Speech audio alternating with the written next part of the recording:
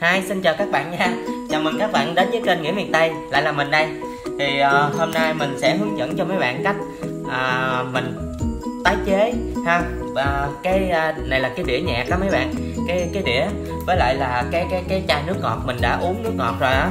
Bây giờ mình sẽ tái chế cái chai nước ngọt này Làm một cái à, cái chậu mini ha mấy bạn. Thì uh, mấy bạn theo dõi mình làm nha. Thì uh, mình sẽ hướng dẫn mấy bạn làm nếu mà mấy bạn có sơn nữa dụng cụ thì mấy bạn chuẩn bị cho mình một cây kéo nè. À, một cái à, chai keo 502 ha. Rồi một cái đĩa nhạc mà nhạc mà hư á mấy bạn. Đó một cái đĩa nhạc hư. Rồi một con dao để mình cắt cái chai ra ha. Rồi đầu tiên thì mấy bạn giữ cái nắp này ha. Rồi mấy bạn sẽ lấy cái kéo. Mấy bạn à, khoét cho mình một cái lỗ. Đó. Mục đích khoét cái uh, lỗ ngay chỗ cái nắp này uh, mình đố mấy bạn để làm gì nha? Rồi để mình nói luôn ha. Đó là để khi mà mấy bạn tưới nước á mấy bạn trồng xong mấy bạn tưới á là nó sẽ ờ, nó sẽ hấp uh, nó sẽ rút nước nó không có bị ứ nước làm uh, hư cái rễ cây của mình đó mấy bạn. Đó thì khi mà mấy bạn làm vậy uh, thì uh, nó sẽ uh, rút nước đi hen. Đó rồi mình khoét một cái lỗ dây cho nó dễ dễ hút nước. Rồi à, nha mấy bạn. Rồi thì bây giờ mình sẽ à, cắt cắt ra cái phần đầu này ha. Cái đĩa này mình để đây. Rồi bây giờ mình sẽ à, cắt. Ừ.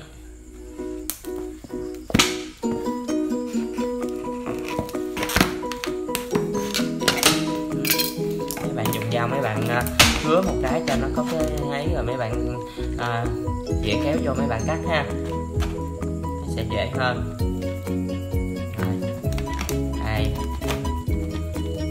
Nếu mà mấy bạn có sơn á nhà mấy bạn có sơn thì mấy bạn sơn cho đẹp nha.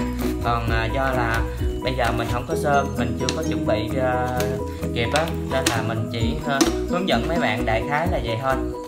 Đó. Rồi. Hoàn cắt cho mình ha.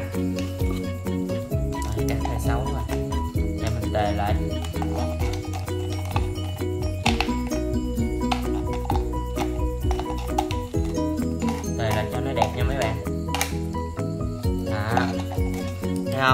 Rồi mấy bạn cắt lấy cái phần đầu ha.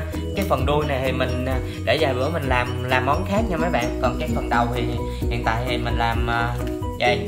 Rồi rồi sau đây à, là mình sẽ mở cái chai keo này ra. Nha mở cái chai keo ra. Rồi mấy bạn sẽ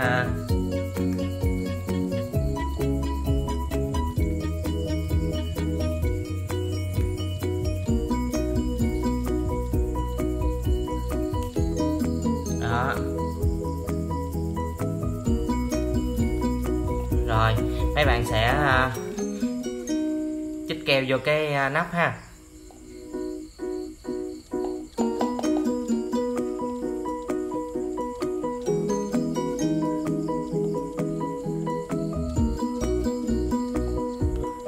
Keo này mấy bạn cẩn thận nha mấy bạn. Tại vì dính vô tay là một lát nữa mình cạy nó không ra. Nên là dùng, khi dùng keo này mấy bạn phải cẩn thận nha, hết sức cẩn thận nha. Đó, còn mấy em nhỏ mà có coi kênh của anh á thì à, mấy em à, hạn chế dùng keo nha. Mấy à, em à, nếu mà ấy thì mấy em nhờ người lớn làm nha. Rồi mình à, à, đè nó khoảng vài phút nha mấy bạn. Đó khi mà mấy bạn ép xuống vậy mấy bạn sẽ à, à đè nó lại khoảng vài phút ha để cho nó dính. Để mà phải à, lấy kéo mình cạo cho nó có đầy đầy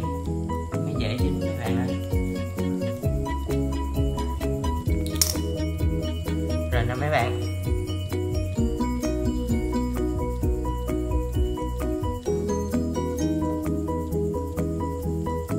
Đây nó đã dính rồi nè mấy bạn ơi. Đó mấy bạn thấy là mình có một cái chậu rồi ha.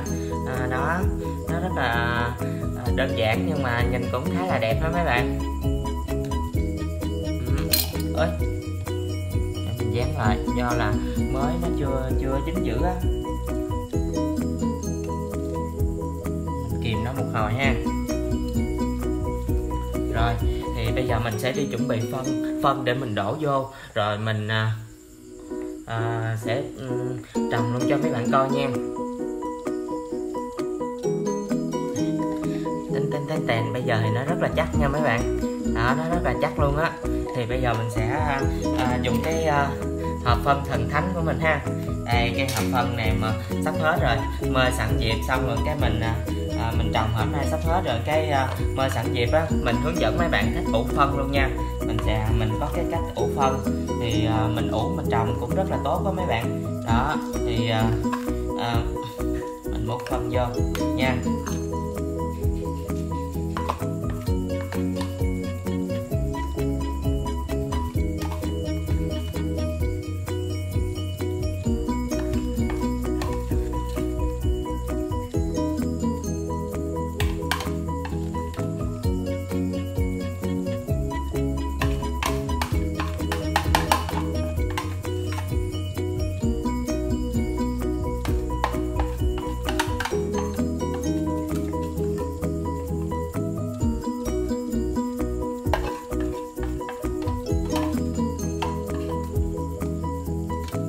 Đó rồi như đây rồi nè mấy bạn.